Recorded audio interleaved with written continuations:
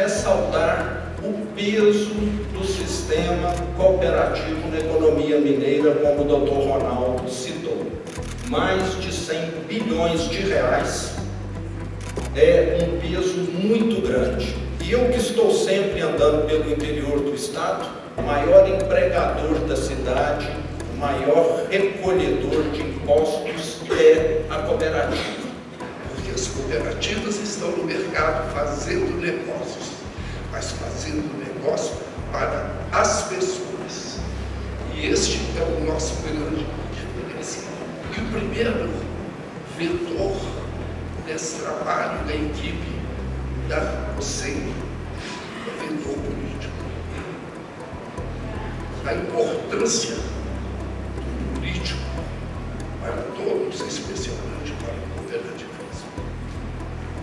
Político é a é o norte, é a direção a ser seguida.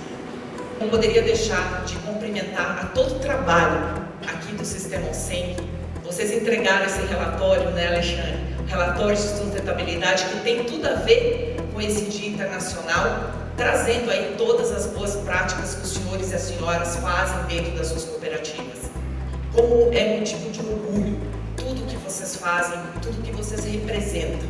Vocês podem ter certeza disso. Mais que modelo de negócio, o cooperativismo fortalece boas práticas econômicas, equilibra a sociedade e busca transformar o mundo em um lugar mais justo, com oportunidade para todos.